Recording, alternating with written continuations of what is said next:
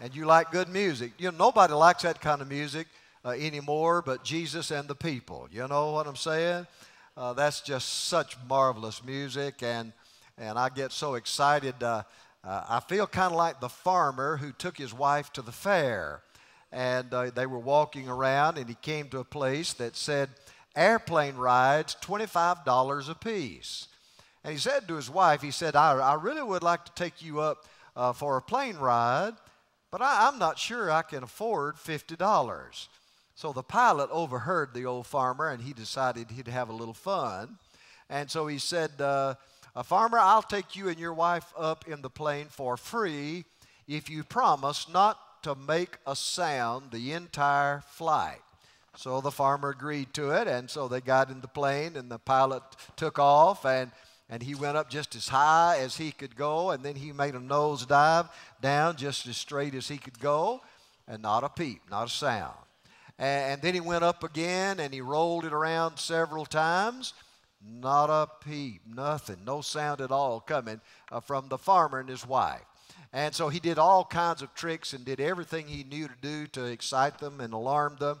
And finally, in defeat, he just uh, he uh, landed the plane. And as they were taxiing in, he said, "Well, I'll have to hand it to you. I didn't think you could go through that entire flight without making a sound." And the farmer said, Well, said, You know, I, I didn't either. He said, You know, I, I, almost shouted at one time when my wife fell out of the plane, but uh, uh, I almost shouted a time or two. In fact, I did with this marvelous music. And then your pastor. What a glutton for punishment he is. Twelve years in a row, I have been coming uh, to preach, and he has allowed me to do so, and you're very kind, and, and let me stand where this man stands. Uh, his 35th anniversary, I couldn't be here, but I got to send a video, and, and uh, you know, what, what do you do uh, when you stand where a man like your pastor who preaches like he does and serves the way he does, what do you do when you have to stand where he stands? Well, the fact of the matter is, you just have to do what you have to do. And uh, actually, I've had a lot of experience doing what you have to do. When I was in high school, my mother uh, had a curfew on me. I had to be in at 12 o'clock every night. And so on this particular weekend, I was coming in, I had my shoes in my hand, and I was tiptoeing through the. Uh, uh, I was clip, tiptoeing through the, the hallway, and uh, uh, my mother said, Is that you, Jerry? And I said, Yes, mother, uh, it is. Uh, and it was 2 o'clock in the morning. And she said, Well, what time is it? I said, It's 12 o'clock, mama. And about that time, our cuckoo clock cuckooed two times. So I just stood there and cuckooed 10 more times. So sometimes you just have to do what you have to do. So I'm going to do my cuckooing and get on out of the way, and you can have the real preacher in the building uh, come at a later time. I want you to turn in your Bible this morning to Psalm 51, and uh, I'm going to read the first seven verses of Psalm 51, and uh, then we'll look at a lot of the verses on down through that chapter. But if you would stand with me and follow along in your Bible as I read Psalm 51, the first seven verses for our message this morning. Psalm 51, beginning with verse 1. Have mercy upon me, O God, according to thy loving kindness. According unto the multitude of thy tender mercies, blot out my transgressions. Wash me thoroughly from mine iniquity, and cleanse me from my sin. For I acknowledge my transgressions, and my sin is ever before me. Against thee, the only, have I sinned, and done this evil in thy sight, that thou mightest be justified when thou speakest, and be clear when thou judgest. Behold, I was shapen in iniquity, and in sin did my mother conceive me. Behold, thou desirest truth in the inward parts, and in the hidden part thou shalt make me to know wisdom. Purge me with hyssop, and I shall be clean. Wash me, and I shall be whiter than snow. Thank you, and you may be seated, and may God bless the reading and now the preaching of His precious word. Psalm 51 is probably familiar to most of us in the building this morning. It is David's prayer of confession after he had fallen into deep, dark, dreadful sin. When David sinned in that terrible affair with Bathsheba, do you think he ever imagined for a moment that one day God would put his sin in a Bible for all the world to read? Or do you think he ever had the uh, idea that one day his sin would be portrayed on the silver screen and millions of people would uh, watch what he had done? Aren't you glad God doesn't do that when we sin? Aren't you glad that when we confess our sins, God clears the record, He covers them with His blood, and He casts our sins in the depths of the sea? Now, we're given the background to David's confession in 2 Samuel chapters 11 and 12. It is his affair, his one night stand with a woman named Bathsheba. It is a sordid affair, it is a terrible thing. It is as old as the Garden of Eden, it is current as the experience that people have today. The Bible says about David that he saw, he sent, and he took and he had an affair and he committed immorality with Bathsheba. And, uh, you know, I, I, have a feeling that uh, David said, well, that's the end of the matter. Uh, that was a pleasurable night uh, and everything's fine. But just a few days after that, David received a four word note that rocks his world. Bathsheba sent him a note and she said, I am with child. Can you imagine how that must have made this man David feel? In fact, David spent about a year trying to cover up his sin. Let me give you a Bible principle. You might want to jot down this verse and read it later on. Let me give you a principle found in Proverbs 28, verse 13. That verse says, He who covers his sin shall not prosper, but whoso confesseth and forsaketh them shall have mercy. Now, here is the Bible principle the sins that we cover, God will uncover. But the sins that we uncover, God will cover. And we will see this vividly portrayed in David's uh, prayer of confession. So, for about a year, he tried to cover his sin. But the last verse of 2 Samuel chapter 11 says that uh, the thing that David did displeased the Lord. You see, secret sin on earth is open scandal in heaven. So God sent the prophet uh, Nathan to uh, uh, David, as you recall, and uh, before David realized it, realized it, the sword was at his neck, and he heard four more words that ripped the camouflage off of his uh, heart. Nathan the prophet said to him, Thou art the man. And David knew that the sins he had tried to cover, God uncovered. And what was true for David is true for you. It is true for me. It is always true. The sins that we cover, God will uncover. And so David comes now to a very precious place.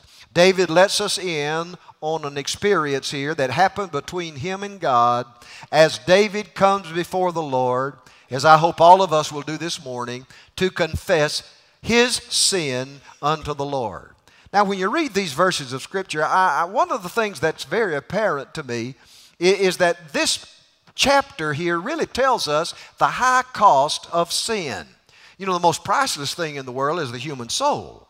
Jesus said, What will it profit a man if he gain the whole world and lose his own soul? That's the most priceless thing is your soul. But the most expensive thing in the world is human sin. All the mathematicians cannot add it up. All the calculators cannot compute it. The most expensive thing in all of the world is sin. So let's just move down through these verses here in several ways and talk about the high cost of sin. First of all, I want you to notice the high cost of sin uh, in this sense, the high cost of committing sin. Now, you know, we're living in a, in a day, uh, you know, Pastor, it's hard to find an old fashioned sinner anymore uh, in this culture in which we live. Uh, people just minimize everything today, and, and nothing seems to be sinful today. uh, we're told that sin is no big deal, that, that sin is just the backward pull of an upward good, that, uh, that sin is just uh, an unpleasant bump on the road to man's evolution upward. But God has a different opinion about sin.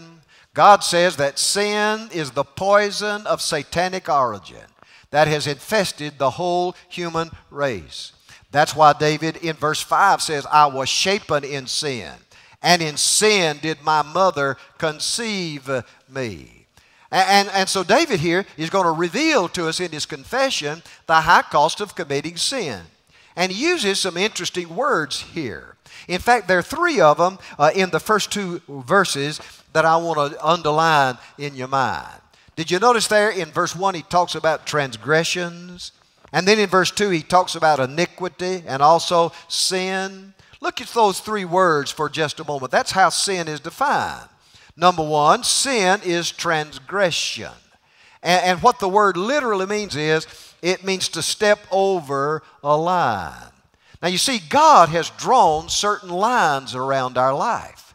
God has drawn certain boundaries uh, in our life, and He says to us, don't step over these lines. Now, it's not that God's trying to be restrictive. It's not because God is some kind of cosmic killjoy and He's trying to just kill all the joy of your life. But God loves you, and He knows that if you go outside these boundaries, step over the line, that it's going to bring harm and it's going to bring misery and hurt to you. So God draws a line and He says, Don't step over that line. 1 John 3 4 puts it this way Sin is the transgression of the law. Then look at that second word, iniquity. You see that word? He says, uh, talks about iniquity, and the Hebrew word for iniquity there literally means a twisting or a turning or a perverting. I don't know if you saw it or not this week, but I was watching at the hearings uh, for the new Secretary of State, Mike Pompeo, and one of the congressmen there was pressing uh, Pompeo on some things he had said uh, previously. And one of the things Pompeo said, I'm told he's a, a Christian man, uh, was that uh, same sex marriage was perversion. And he really was pressing, trying to get Pompeo to admit that into his credit. Later on, he said, I still believe what I used to believe. Well, friends, I've got news for you this morning. All sin is perversion, all sexual sin is perversion whether it be premarital sex or extramarital sex or same sex marriage, all sin sexually outside the bonds, the sacred bonds of matrimony, is a twisting, it is a perversion. And then look at this little word sin, S I N. And the word there literally means to miss the mark. It's the picture of an archer and he pulls the bow and, and the arrow goes toward the target, but it falls short of the target. That's what Romans 3.23 says about sin, doesn't it? It says, for all have sinned and what? Come short of the glory of God. What that means is, is when we sin, we never hit what we want to hit when we sin. You know, we sin because we think, well, this will make me an important person. It never does. Uh, we we uh, uh, you know, when we, you know, we think it'll bring certain satisfactions and certain pleasures uh, to us, uh, but it, it really never does. So sin is transgression, sin is iniquity, and sin is sin. That's how he defines it. But then I want you to notice, secondly, uh, in this about the high cost of committing sin, that he describes sin. You know, one of the best ways in the world to read your Bible is to look for the pictures in the Bible, to see the, the pictures that are there. And, and as you work down through this chapter, you will see certain pictures uh, uh of, of how sin uh, affects uh, our life, how he describes what sin does to us. You know, we. Uh, we, we have the idea that, uh, that, that sin has no real effect on us. I heard about a mother uh, who looked out of the kitchen window one day, and there her uh, little children were, and they had surrounded a big surfeit of, of, uh, of skunks. And she, she saw there was real problem there. And so she leaned out and, and she said to the children, Run, children, run. And they all picked up a skunk and ran. And, and you see, ladies and gentlemen, sin smells everywhere it goes. Sin mars everywhere it touches. Sin leaves a stain everywhere it breathes. A sin leaves a print everywhere it steps. David found that out, and I want us to find it out too. For instance, did you notice here in verse 3 that sin affects your eyes? Look at what he said My sin is ever before me. And literally, what he's saying is, My sin is staring me down. Everywhere David looked, he saw his sin. You know the guilt of sin. You know how guilty you, you, you, you feel when you sin? Well, everywhere he looked, he could see his sin. He got up in the morning, he went to the mirror, and as he was shaving, his sin was staring at him through the mirror. And, and then he went to the palace, and, and, and there those servants were, and, and, he saw his sins in, in their uh, troubled eyes. And he looked at Bathsheba and he saw his sin in her uh, sad eyes. And he looked at that little baby uh, that was born and he saw his sins in those little tiny eyes. He saw his sin in the embarrassed eyes of his older children. He went to bed at night and in the dark blackness of the midnight, he saw his sin with a toothless, gaunt grin grinning at him. Everywhere he looked, sin was before him. That's what sin does. Sin brings its guilt, sin brings its shame, sin brings its embarrassment. It affects the eyes. That's not all. Look at verse 6. Thou desirest truth in the inward parts. And basically, there is a reference to the mind. Sin affects the mind.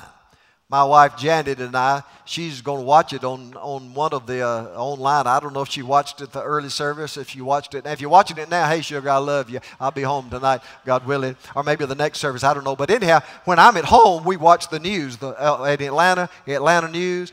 You've never seen such in your life. There's murder here, and there's a kidnapping here, and, and there's a robbery here. And, and, and one of the things that just is so striking to me is, is that some people do such dumb, stupid things. And you wonder, don't they know they can't get by with that? How stupid. But you see, folks, that's what sin does. Sin makes you stupid. I remember one time, uh, Pastor Whitson, I, I was in Rome, Georgia, and uh, had an appointment with a, with a couple that was not married, and they both came marching in uh, to my office with a Bible under their arm. And they sat down and proceeded to tell me that it was God's will that both of them leave, leave, leave their mates and marry one another. How stupid can you get?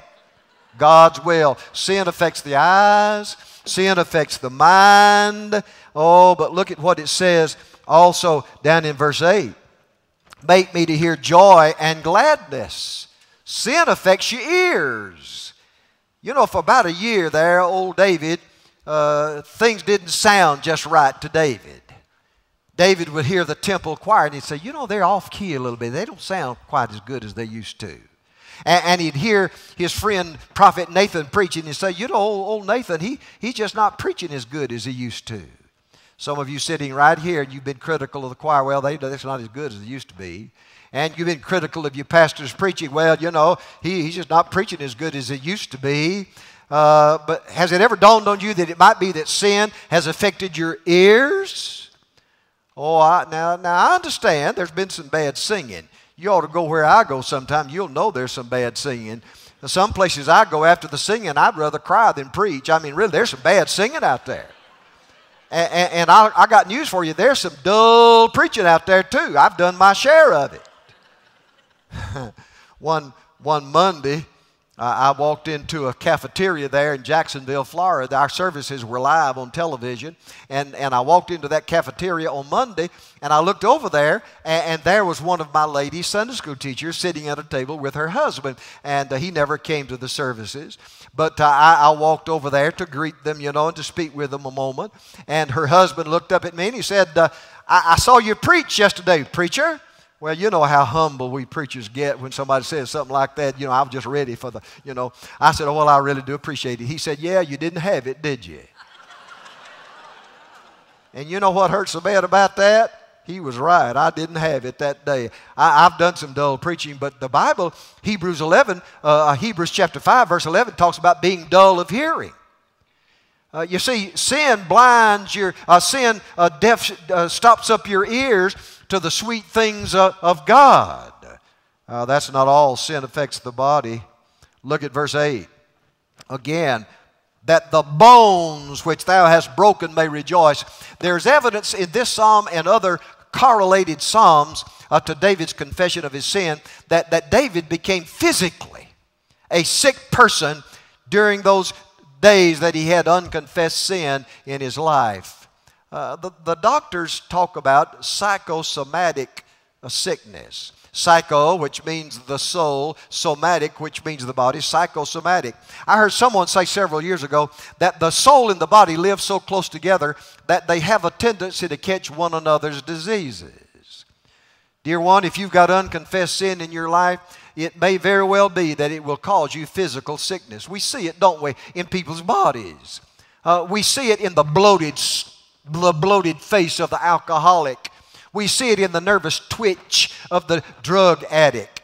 Uh, we see it in the lewd stare of the immoral and the impure. Sin will take its toll on your body.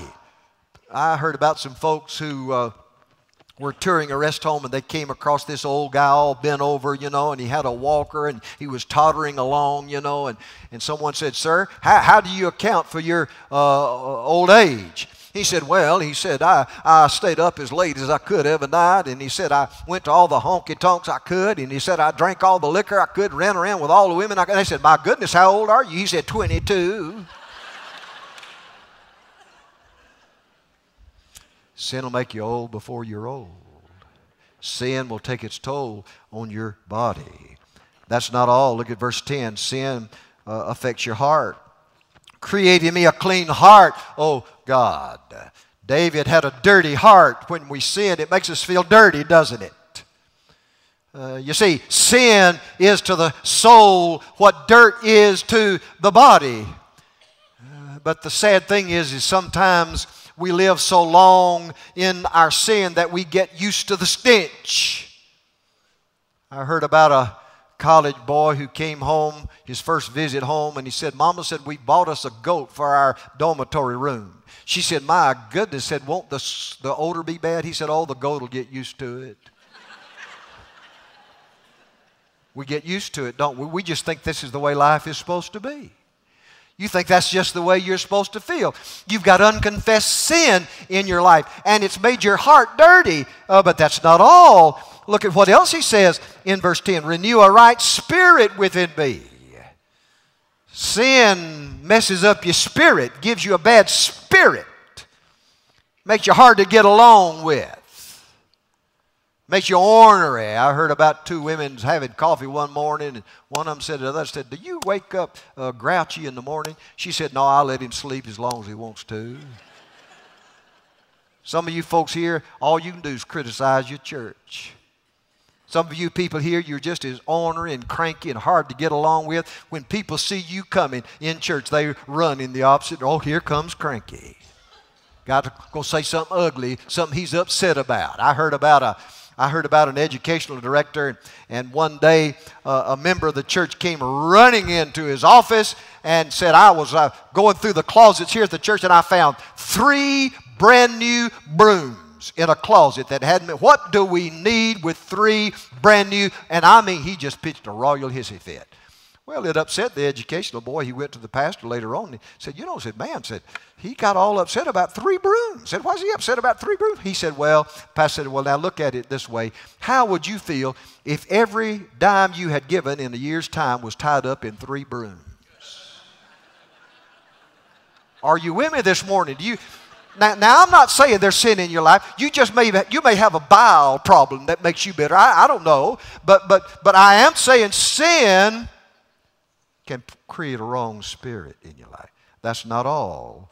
Notice what it says down in verse 14 and 15. My tongue will sing aloud your praises, Lord. Open my lips and my mouth shall so forth. For a whole year there, David couldn't praise the Lord. It silenced his temp- testimony. I can hear the servants around the palace whisper to one another, What's the matter with David? Why isn't David singing anymore? Why isn't David playing on his harp? What's the matter with David? Well, you see, ladies and gentlemen, when you get unconfessed sin in your life, it stops your testimony. I have made this statement, I'm sure, in the years past when I have been here, but I want to impress it on your heart again. Sin will take you further than you want to go. Sin will teach you more than you want to know. Sin will keep you longer than you want to stay. Sin will cost you more than you want to pay. Oh, dear one, the high cost of committing sin. Now, quickly, I move on. I want to say a second thing. I want to talk to you just for a few moments about the high cost of confessing sin. Did you see verse 4?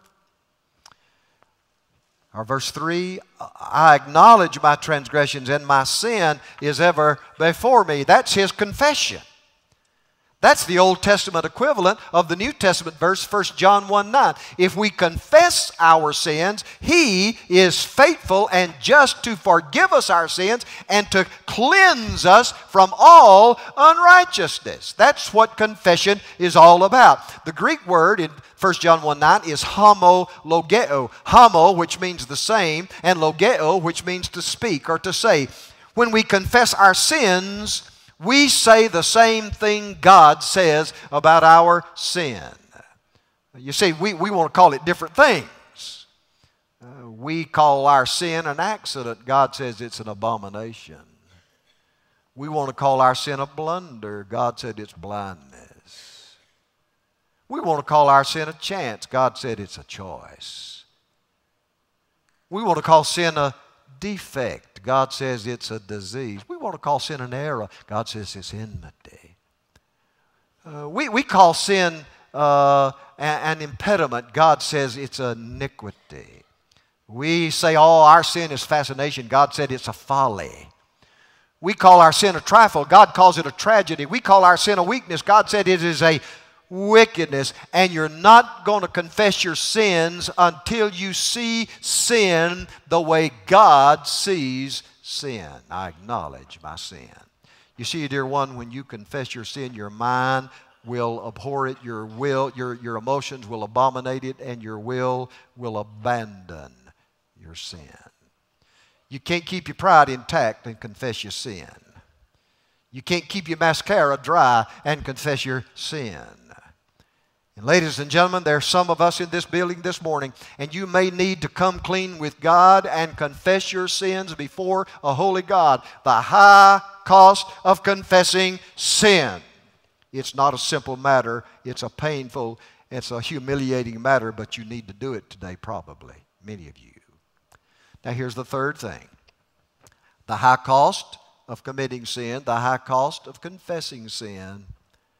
But then, number three, the high cost of cleansing sin. Some more beautiful pictures here in the Bible. Do you see here how he, he uh, paints pictures about uh, cleansing of sin? Look at verse 1 blot out my transgressions. And, and the word blot out there means to wipe the slate clean. In, in those days, they would have. Uh, they would have pieces of uh, papyri or, something like that, and, and uh, they would have writing on it, and, and they would wipe it off. They would wash it off and they'd turn the paper sideways and they could use the paper again. That, that's what he's saying. He, he's saying here, wipe the slate clean.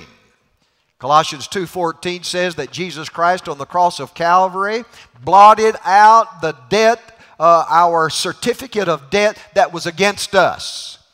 Ladies and gentlemen, you need Jesus to blot out your sin today. And the good news is, when Jesus blots out your sin, He doesn't rub it in, He rubs it out. It's like a debt. It, it's like not only a debt, but, but, but also it, it's like uh, dirt. Verse 2 Wash me thoroughly from mine iniquity. The word wash me there is a very vivid word in those days, you know, they didn't have all the modern uh, appliances that we have, and, and, the, the, the precious ladies would have to go down with the dirty clothes, and uh, they would have to get on the rocks, and they had to literally beat the dirt out of the clothing. You see, they didn't have a washing machine where all you had to do just touch a button and it was all done. It was a brutal process. And when David confesses his sin, he's saying, Beat the dirt out of my life. Some of us, our life becomes like a smelly old football jersey our boy has been wearing at practice all week. And we need for God to beat the dirt out of our hearts. Wash me. It's like dirt, but sin is also like disease. Do you see what he says here in uh, verse 2? Cleanse me from my sin. And then drop down to verse 7 and look what he says Purge me with hyssop, and I shall be clean. Purge me with hyssop. What in the world is hyssop? Well, it's not the masculine singular uh, of hiccup.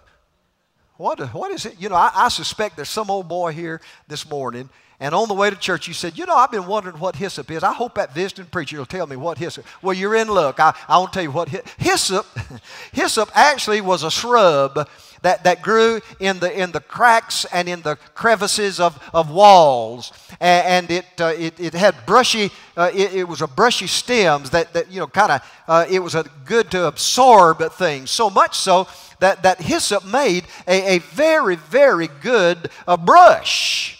And, and they would, what they would do is they would they, they'd take a wooden stick and some scarlet thread, and they would tie that hyssop to the, to the wood, and it, and it made a, a brush, they, an applicator. And he's saying here, purge me with hyssop. And when you read that, it, it takes you immediately uh, to a situation in the Old Testament uh, of, of a disease. All of the diseases in the Bible, uh, they have literal meaning, of course, but, but all of the diseases in the Bible also have a spiritual application. Disease is a picture of sin, and do you know what was the worst disease known in the Old Testament? It was leprosy. Now, when you read about leprosy, I'll tell you that was some disease. I mean, you know, the, the way a person became a leper is, is something. Their, their, their, their jo- joints in their body would kind of get sore. And, and, and then they'd look and they'd see a little white spot pop up, and then other little white spots pop, up. And, and, then they would become nodules. And, and, then those nodules would get soft, and they, they would begin to emit pus and, uh, and, and, then, then the leper's hair and his eyebrows and his fingernails would, would fall off. And uh, his, uh, uh his, uh, uh, his, his voice would get raspy. And his breath would, he'd begin to, he, he, he, and he would lose all pain and all sensation in his body, and his limbs would fall off of his body and before it was over, his whole body would collapse in a pool of slime. Leprosy. But do you know there were times when a miracle would occur?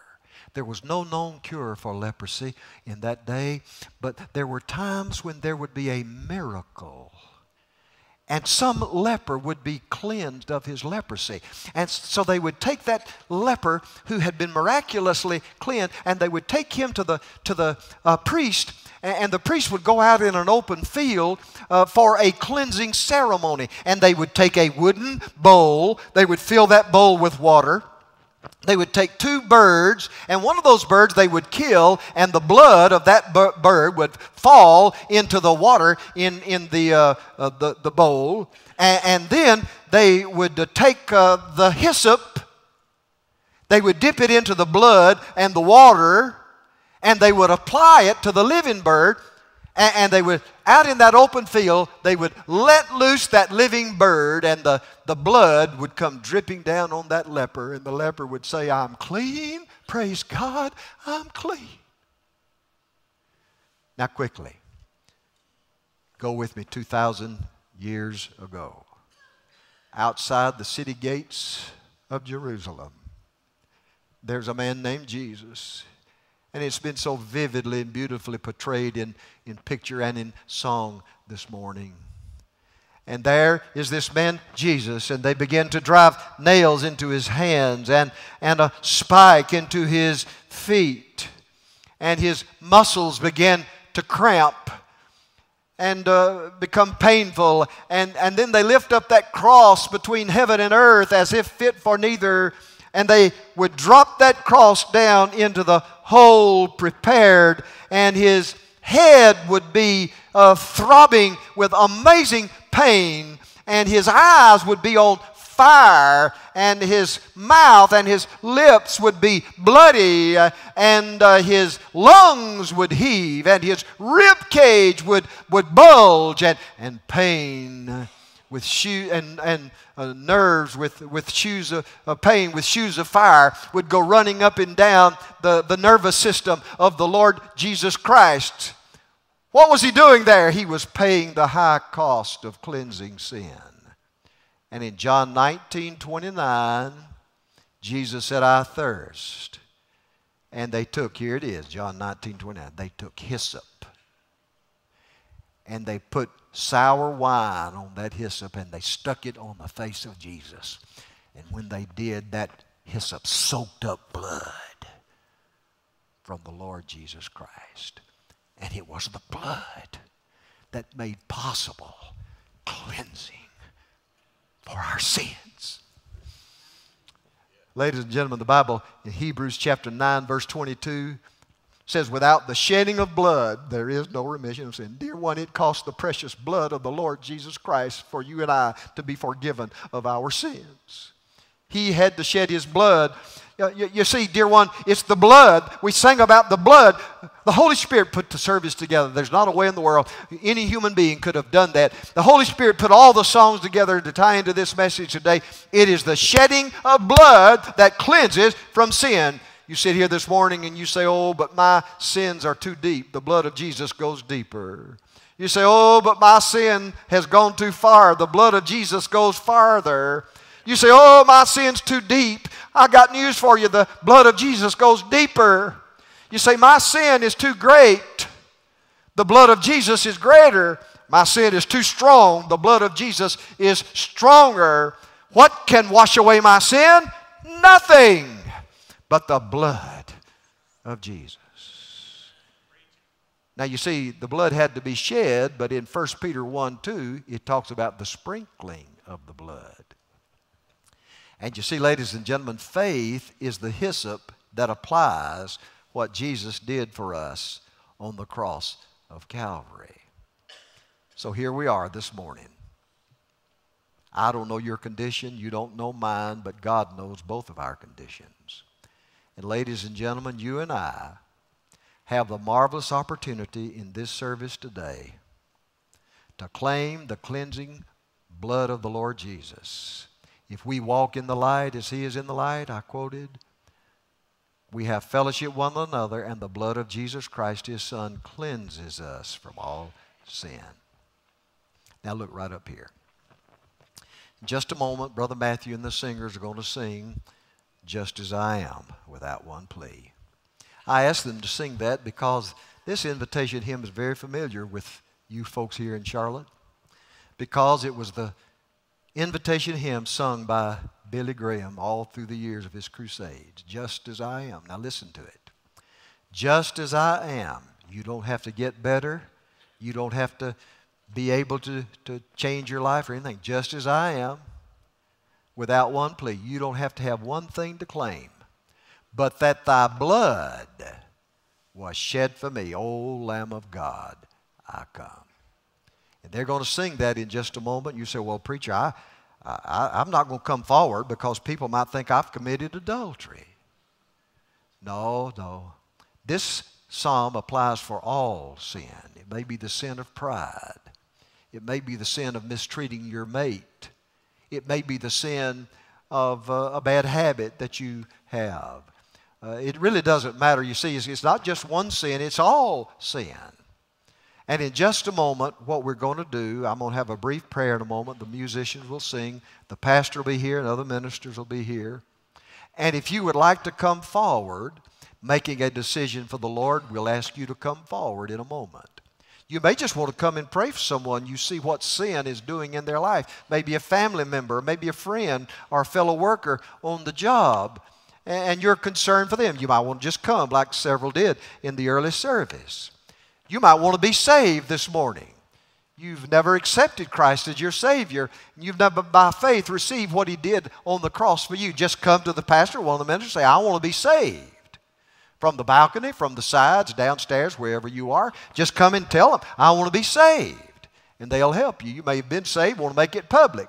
Need to be baptized at some point. They'll set up a time. Just come and say, I'm making my profession of faith. You may want to join First Baptist Church of Indian Trail. Just come down and say, I want to join the church. Or you might want to just kneel here, or you might, where you are, do business with God about something in your life that ought not to be. Our Heavenly Father, we pray now that you'll move in this invitation. Have your own way in all of our hearts. May we not walk out of here with unconfessed sin in our life. In Jesus' name, amen.